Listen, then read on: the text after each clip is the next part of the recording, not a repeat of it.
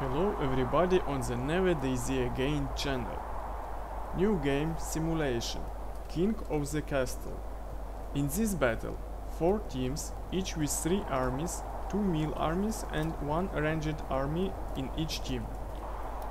In the first team, Roman general, Roman soldiers, Roman archers. In the second team, orcs, trolls and goblin archers. In the third team, Elves spearmen, Gondorians and Elves archers. In the fourth, zombie, military zombie and skeleton archers. Watch and don't forget to like and subscribe to my YouTube channel for more epic videos. Enjoy watching!